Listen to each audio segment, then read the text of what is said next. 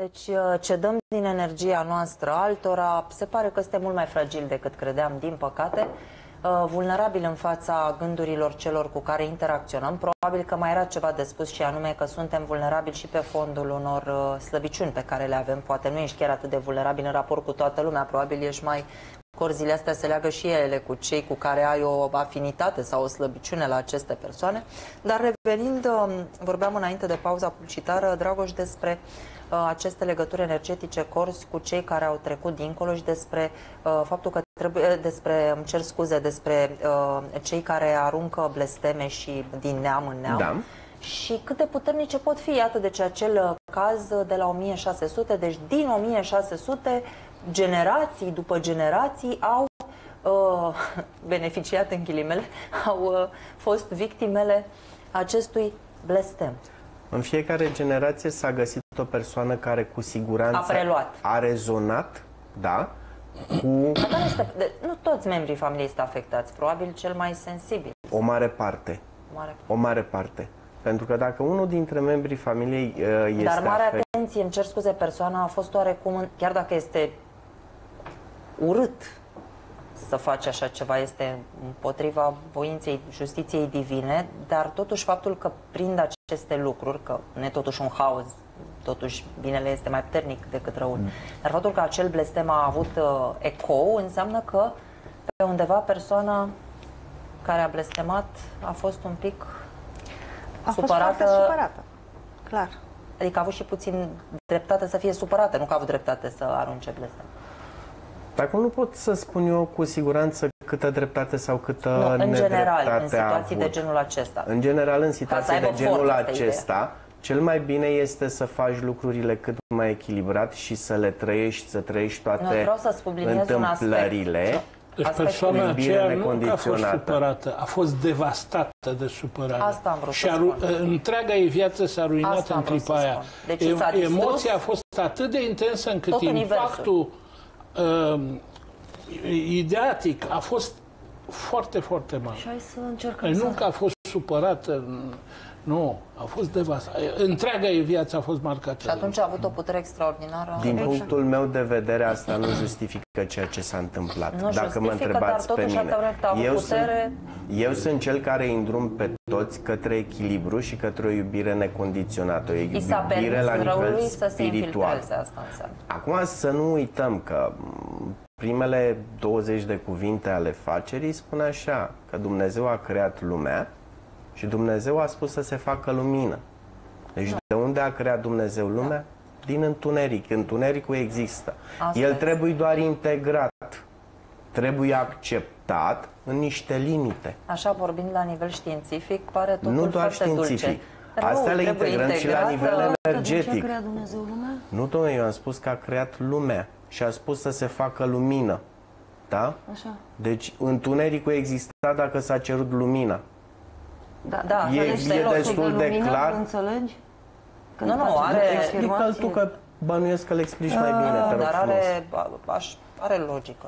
Nu, las-o pe Ingrid, că cu siguranță le explică Vreau mai să- bine. Vreau să lămurim un lucru. În primul rând, un blestem este o programare. Binecuvântarea e tot o programare. Sunt programări pozitive și programări negative. Problema este de deprogramare. Asta este problema. Eu nu sunt adepta includerii, spre exemplu, a victimei vrăjitoare, că joacă rol de victimă vrăjitoare în cazul dat, a integrării ei, pentru că ea poate nu s-a reîncarnat până la ora actuală și o mai și invit să stea în sânul familiei. Uh, da? Eu nu sunt de acord cum bine ai spus la un moment dat ce fac, integrez. Răul eu n-am de în unde viața să știu, eu îmi cer iertare de nu mai pot 20-50 de ani până mor, dar poate totuși nu mai iertat. Eu pe cine invit de fapt să sălăjulească ca energie, ca intenție, adică dacă ca acel voință în neamul suflet- meu? Asta vreau să întreb. Integrarea Deci, un om presupune- care, Ce semne ai că ai Deci nu. iertat? Deci aici un om care discutăm... cedează Nu, nu, atât de nu, grav voi nu vă în adresați fața unui zid, vă adresați răului. unei entități existente, ea încă există și am cazuri celebre. Am cazuri celebre și situații celebre. Unei femei a murit uh, soțul, spre exemplu, la un moment dat, acum vreo 15 ani, 16 ani, tot a plâns, a plâns ani de zile, da, la un moment dat are un vis într-o noapte. Atenție! să nu mai plângă pentru că nu mai plânge, m-am întrupat și mă cheamă, nu mai știu, un nume englezesc. Trăiesc în Anglia și mă cheamă așa, femeia a cercetat, a găsit toate datele, problemele. Acum spiritul era întrupat și nu-și putea trăi viața pentru că îl plângea. A fost, l-a găsit, copil, există, nume, tot. Atenție, noi nu avem certitudine. Aici a fost un caz de, de reîncarnare rapidă, nu instantanee, dar rapidă. Da?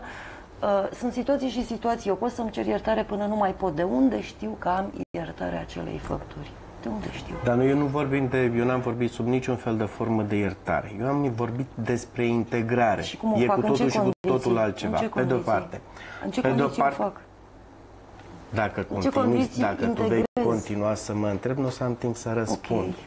Ideea este că toate acestea se lucrează la nivel energetic al sufletului, chiar dacă lucrăm în planul fizic. Dorina poate să confirme pentru Mersi că... frumos. Asta Da. am, Păi- am descoperit America. Era clar. Păi și, și ce atunci, dacă semneam, este ce clar- semneam, ce reacții răspuns am, În că eu primul integrez... rând, lași valorile energetice să funcționeze. Am Forma întrebat urmărește gândul. Este bă, mai mult decât clar că în momentul în care onorarea se face a evenimentului, Da, dar onorarea a e primită persoanelor- sau nu? M-am lovit de în situații în care nu este primită, nu mai contează, nu mai interesează, nu mai e dorită onorare. Pentru că nu poate Tu îți faci- ierta. Nu poate ierta. Pentru Tu că îți nu faci poate partea ierta. ta. Pentru că nu Tu poate îți- ierta. Și ce fac? Îmi fac partea mea la zi, joc tenis la zid? Dacă Eu tu aștept un consideri feedback, Asta, nu? Dacă tu consideri asta... Păi vă Este spun un din aspect. practică Hai că au să mai nu- fost este oameni un la aspect, diverse da. practici Ok. și ritualuri unde s-a considerat că li s-a rezolvat problema și problema lor s-a agravat. Deci Doar mă lovesc pentru că în și-au practică cerut de acest iertare, lucru, da. s-a agravat, Da. se ameliorează Da, un e timp un aspect. pentru că Da, sunt există perfect de două acord tipuri cu de tine. spiritualitate. Luminata spiritualitate și întunecata spiritualitate. Luminata înțelepciune și întunecata înțelepciune. Așa este. Da? De unde Sunt știi de cu a- ce forțe lucrezi? Se ameliorează pentru un timp, pentru că sunt uh, situații de o viclenie extremă din partea Așa, spiritului. Da. Sigur. Se ameliorează 3 luni, 6 luni, terapeutul După e care- fericit, am vindecat familia, peste 9 luni îi găsește distruși, devastați. Domne, dar îți mergea mai bine, ai greșit precis cu ceva, îi spune terapeutul. Nu, ai integrat ce n-ai știut înapoi în neamul ăla. În loc să disjungi. Sunt cauze care se disjung și spiritual, nu numai fizic. Ce, ce feedback aveți acolo că lucrurile au fost acceptate de partea cealaltă? Ingrid vrea să spună că nu este suficientă Eu această înțeleg onorare ce- a celui care a Eu blestemat. înțeleg Asta că nu vreau să- este suficient. În primul rând, contează deschiderea persoanelor cu care lucrezi. În al doilea, Nu, ea se referea strict la persoana care a aruncat răul. care a Evident, aruncat rău. evident. Despre ce discutăm ca să putem să intrăm într-o armonie, să intrăm într-un echilibru, da? Trebuie lăsată informația să vină Eu către cred. noi în timpul lucrului, da? Iar lucrul se desfășoară. Deci Eu cred constelația îți arată dacă Da, greșești ți arată. sau dacă nu Îți greșești. arată, dar eu Da? tind mai mult și n-aș vrea să te supăr, mai degrabă aș fi de acord cu Ingrid în problema aceasta. Ok, fiecare are Pentru dreptul la că liberul, are la logică. părerea Nu- uh, lui. O persoană care din start face așa ce... Toți suntem vulnerabili.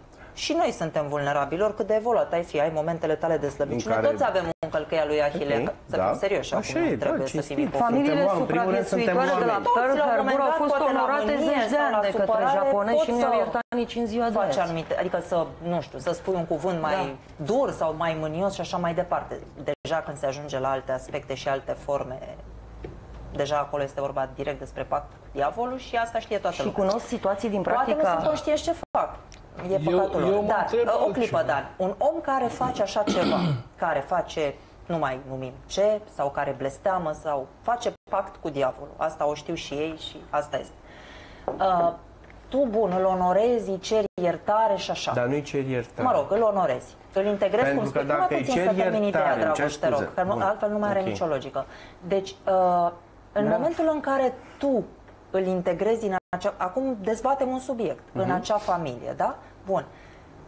Nu cumva, pentru că tu nu știi ce reacție, un om care a făcut așa ceva, iertarea probabil că e mai... Poate să te ierte, dar totuși are clar o Crezi- slăbiciune și o conexiune cu zona Da, mai... și credem noi că e suficient să fie o fantomă într-o familie. Poate vrea mai mult de atâta. Și dacă persoana nu are reacție, din potrivă se înverșunează și mai rău, eu cred că în astfel de situații iertarea vine direct de la E Dumnezeu. obligatorie. Adică atunci când Dumnezeu consideră că tu ți-ai ispășit păcatul, pentru că e clar că dacă pe tine te-a afectat un blestem, atât de rău sau mai puțin rău, nu contează, te-a afectat, punct. Ai rezonat. Tu ai rezonat cu el, tu ai greșit până la un punct. Clar l-ai meritat, că altfel nu stă Dumnezeu în drum de un blestem sau de cineva care aruncă trei cuvinte. Să fim serioși și Tu nici de știi? trei găini.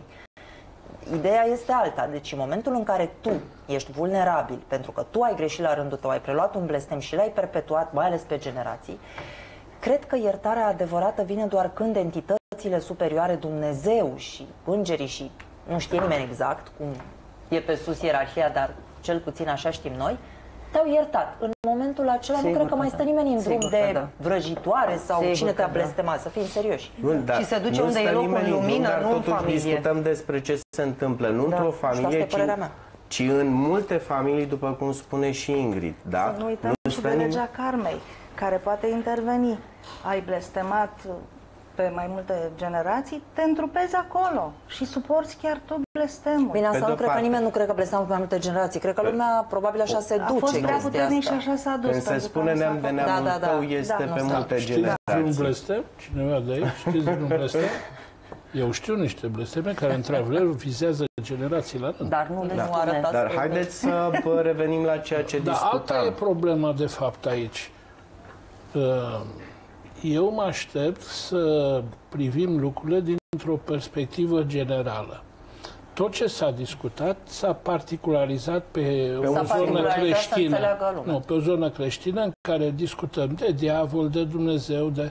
Dar ce fac ceilalți care nu au aceeași religie? Care nu au Bun, acum diavolul noi în cultura particularizăm, lor? și- da, pe noi, pe A, cei ce care fac suntem ceilalți? ortodoxi. Ăia La se emisiunea asta încarcă cu suntem gând sau- pentru Nu, nu, mă cei care întreb dacă sunt... Iertarea ceilalți- este universală la Exact budiști, despre vei asta întâlni vorbeam. iertarea. Dar nu De ai asta am timp, vorbit dar eu de Iertarea este iertare. universală, da? Iertarea universală, indiferent Principiul de se aplică religie, la orice indiferent de religie. ce. Principiul. Exact, Bine asta și spuneam. rău. Deci iertarea e fundamentul și nu pentru că la iertat se schimbă lucrurile, Da. ci pentru că iertându-l te schimbi tu.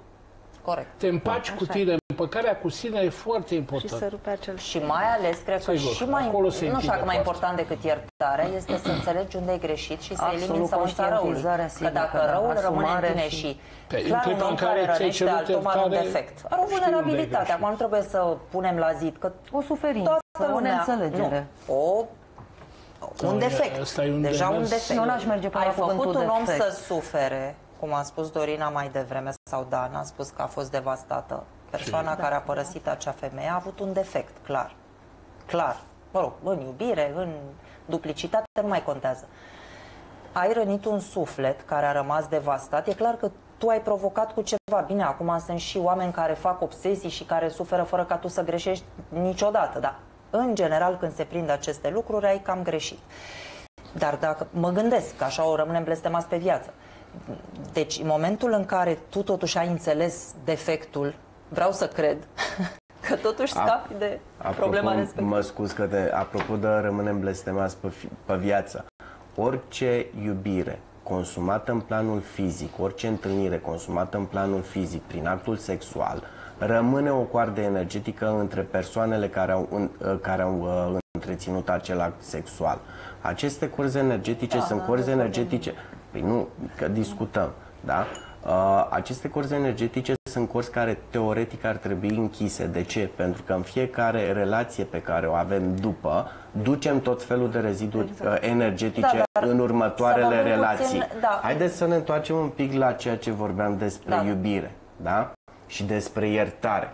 Eu am spus integrare. Integrarea presupune mai mult decât iertare. Înseamnă acceptare, înseamnă compasiune, înseamnă deschidere. Deschidere către tot. În momentul în care mă duc la cineva și cer iertare și persoana aceea nu dorește să mă ierte, Este valabil și cu în cazul crimelor această integrare? da, și în cazul crimelor. Așa se lucrează și uite, se sunt întâmplă, rezultate, se așa întâmplă e. în ultimii 30 de ani, se pare că acest tip de terapie rezolvă mult mai multe Dragoș, probleme. revenim, uh, revenim după publicitate.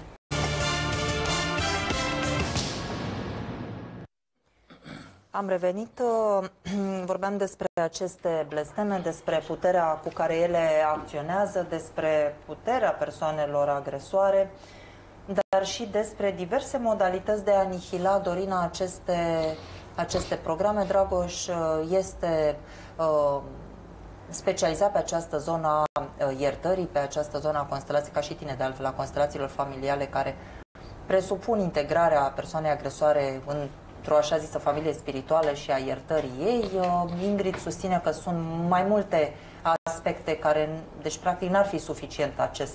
E un început, e un bun început, da. Da, este un bun început, dar nu este. Sunt uh, multe metode. Se poate, uh, poate, se poate merge la biserică, la Bun. slujbe de deslegări. Da. O să vorbim și despre, spuneam despre terapie, deocamdată să vedem dacă mai putem identifica și alte situații dure prin care se pot crea uh, corzi energetice. Am văzut uh, blestemele, să vedem uh, poate și în cazul, uh, vorbeai despre niște entități care pot să fie în jurul uh, nostru. Entități sunt și mm, sunt foarte multe spirite neîntrupate, fără trup, da? Sunt foarte multe, și, anim- și animale, și umane, așa cum am vorbit, dar se atașează doar prin rezonanță. Dacă tu îți cobori vibrația suficient, aici mă refer la spirite ale unor oameni care au murit, de exemplu, în drogați sau uh, al- în alcool. E, ele caută în continuare, nu știu că au murit, caută în continuare drogul care le lipsește și se atașează de persoane care consumă. Și atunci, cel care bea și nu se poate opri, nu e singur. El mai are câțiva pe lângă el care îl obligă să bea în continuare. Și asta se poate întâmpla, din păcate. Vreau să completez ce a spus doamna. Nu este vorba numai despre faptul că nu știu că au murit, apropo de drogați sau de bețivi. Cum n-au acceptat realitatea în lumea de ei și au ales să-și alieneze conștiința și capacitatea de a, face fa- de a face față unor situații reale, la fel vor face și în lumea în care au trecut. Vor refuza realitatea. Vor refuza realitatea și se vor agăța în continuare, cum bine a spus, de cei care au aceleași metehne, care fac aceleași lucruri. Cazuistica, Anglia, spre exemplu, și nu doar Anglia, în Franța, în multe state ale lumii există instituții în toată puterea cuvântului, care specialiști, care se ocupă de situație. Apropo, așa s-a născut teoria benzii de piatră în Anglia, unde majoritatea conacelor și caselor sunt bântuite. Se duce omul, stă în conac, se duce în pivniță să-și ia vinul, un cas celebru pe care l-au studiat și din zid iese o întreagă armată romană, traversează Beciu, iese, omul, vă dați seama, rămâne în stană de piatră, odată de două ori, de cinci ori, a chemat echipă de cercetători, atunci s-a născut și sintagma teoria benzii de piatră. De ce? Au demonstrat oamenii de știință că piatra nu e piatră, lemnul nu e lemn, masa nu e masă, ce vedem este energie condensată. Pe un anumit nivel de, con- de conștiință și de percepție a operatorului, care nu e neapărat în lumea noastră, această, această, această stabilă nu există. El o percepe ca pe energie dispersată. Teoria benzii de piatră îți demonstrează faptul că uh, în orice suport așa numit material, cum este chiar și piatra, se pot forma breșe, benzi, prin care realitățile aparent anterioare nouă, sau cel puțin din punct de vedere anterioare, cu toate personajele lor, pot intra oricând ca pe o poartă deschisă în realitatea lumii noastre spațio-temporală și cum vrem să o numim și să-și facă de cap să treacă prin toată casa, pe drumuri, peste tot. Legiunile romane sunt renumite în anumite zone din Anglia că trec, n-au probleme.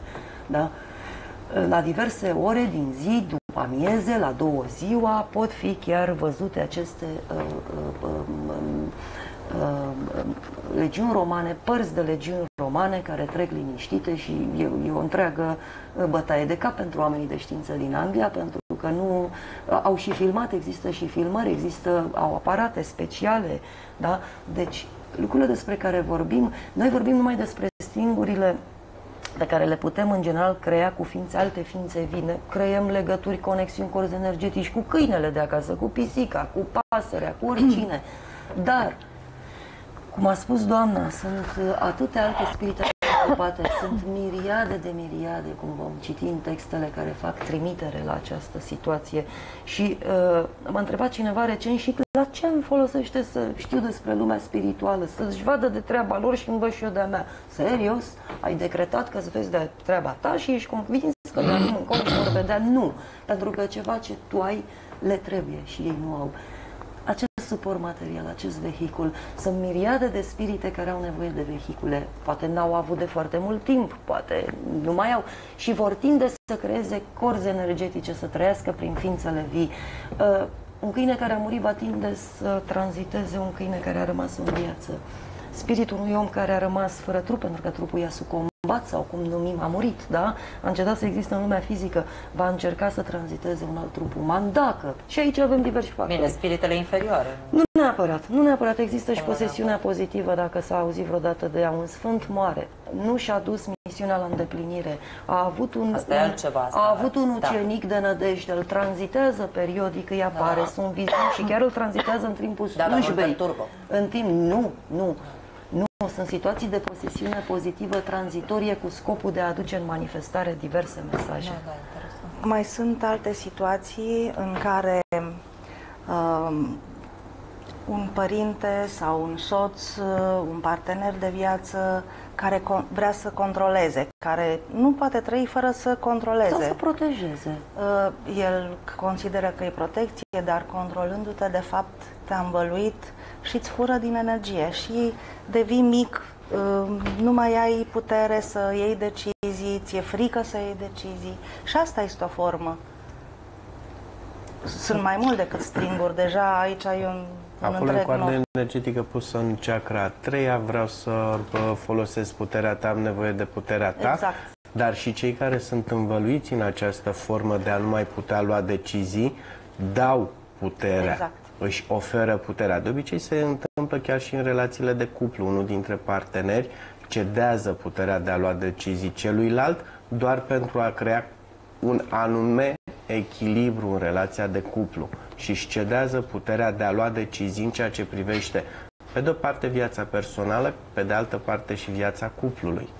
Mai putem identifica uh, stringuri, corzi energetice puse în chakra patra, te iubesc, care sunt cele mai normale, care sunt cele mai uh, curate. Uh, corzi energetice puse în chakra 5 care înseamnă uh, vreau să vorbesc cu tine, mă interesează uh, care sunt emoțiile tale despre mine. Dar toate trebuie luate, văzute, sunt folositoare, nu sunt folositoare. Cele din chakra 4, da, eu recomand să fie lăsate acolo și să fie lăsată energia să Asta, asta seara aș vrea să funcționeze. evităm puțin discuția cu ceacrele pentru că este mai Niveluri alt, este energetice, altă de discuție, fapt, altă da. emisiune. Ok. Să ne concentrăm puțin acum pe uh, corzile energetice. Am Deci, să vă Dorina, spun eu ceva Da. care mi-a venit acum în minte, ascultându-i pe colegii mei. Mă gândeam că eu nu am o experiență în partea uh, de dincolo de lumea aceasta. Nu știu ce fac spiritele și nu știu decât din auzite Experiența și nu mă pot uh, însă, pronunța.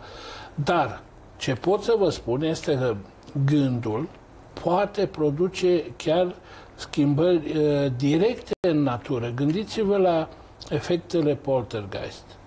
Gândiți-vă la institutele de paranormal din lume. Rușii aveau și găsiți filmulețele pe net niște persoane care mișcau obiecte, despărțeau albușul de gălbănuș într-un nou, uh, aranja țigările în ordine deși le răsturnaseră, uh, împin- la un moment dat unul din subiecti ucide o broască doar concentrându-se îi oprește inima. Deci iată gândul cât de departe poate și acum nu mai discutăm de ce fac spiritele sau nu fac ele. Aici discutăm despre cercetare în institut specializat. Despre găsiți filmele pe net, o să vedeți ce, la ce cote ridicate poate să se manifeste gândul dacă este bine focalizat. Și acum uh, restul puteau, pot fi numite speculații sau avem îndoieli, dar acolo nu mai există îndoială. Efectele poltergeist, întotdeauna prezența unui copil la pubertate în cazurile astea, în cele mai multe cazuri. Păi de ce? Pentru că acolo sunt niște transformări extraordinare în, în, în creierul lui și deschide accidental niște, niște porți care îi permit să, gândului lui să facă modificările ceilalți de la, de la experimentele rusești uh, erau in- instruiți pentru asta, adică o făceau în mod deliberat. Aș Deci vrea să- iată gândul. Aș vrea să vorbim puțin, uh, doamna, și despre jurăminte, despre legăminte făcute în alte vieți. Ne pot urmări și în viața actuală? Depinde, nu toate. Uh, Ne pot urmări, dar rămân jurămintele de castitate, de obediență, uh, te iubesc în eternitate. Te poate urmări pe mai multe vieți. Adică ce, o declarație? De o declarație cuiva am să te o iubesc în eternitate și noi facem prostia asta, am auzit-o de foarte multe ori. Uh, nu știu de ce, nu ne gândim. Uh, tu în viața următoare poate nu te mai întâlnești cu persoana asta. Ce faci? Rămâi singur că i-ai declarat că îl iubești în eternitate. E o promisiune. Te poate urmări. Ele se... Este considerat un legământ? Da, da, da, da, sigur că da. Sigur că da. Este o afirmație deosebit de puternică făcută când, când te afli la un nivel emoțional de o intensitate extraordinară și atunci, atunci se e puternică, când ai și o emoție puternică, atunci da. într-adevăr sunt uh, Hai să puternice. Să legem un lucru, ce este un jurământ sau un blestem sau ce e un cod.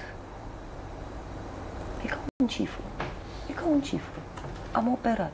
Cunosc cifru și am operat asupra unei realități. Și cifrul ăla rămâne ca atare până schimb uh, combinația de... Pe, pe de da? altă parte, bă, dacă ai o compatibilitate atât de bună cu o persoană și este o iubire atât de puternică, dar nu, nu, dar are dreptate. Nu are dreptate. Dacă nu mă întâlnesc cu persoana. Ce va fi în viața următoare? A, nu știu ce va fi în viața următoare, dar nu e rău să perpetuezi Dar asta nu ceva. presupune ca să mă întâlnesc neapărat în fiecare viață Sigur. cu acea persoană. Corect. Pentru că în fiecare viață fac alegeri. În funcție de alegerile pe care le fac, îmi ușurez sau îmi încarc karma. Nu este obligatoriu ca în următoarea viață să mă întâlnesc cu acea persoană. Trebuie să învăț să tranșed karma și poate una dintre învățăturile Dar de a tranșede karma este să pot să merg din acel motiv nu mai poți să iubești în altă viață. Ba da, poți iubi cu siguranță. În altă, în altă întrupare se poate iubi cu siguranță. Dar poți să rămâi în permanență cu sentimentul că ești incomplet. Poți să nu fii fericit Asta în acea nouă iubire nu... și nu știi de ce și te duci la constelații familiale sau la un alt terapeut, alte terapii și ușor, ușor poți să afli că în momentul în care se... se, se jurământ. Da, poți să afli... de castitate? Da. La fel sunt la foarte fel, periculoase. Sunt periculoase. Să explicăm în ce constă. Uh, preoții, călugării care au jurământ de castitate, nu? Uh, cei care intră în mănăstire, cred. Și pe vremuri, oricum, erau cu siguranță făcute, nu știu, în zilele noastre. Uh, te pot urmări, am clienți care se plâng că nu au nicio relație, băieți frumoși, tineri, la nici 40 de ani, nu pot să am nicio relație. Și am văzut că a fost preot în nu știu câte vieți și clar avea jurământul de castitate. Ehm, te poate afecta.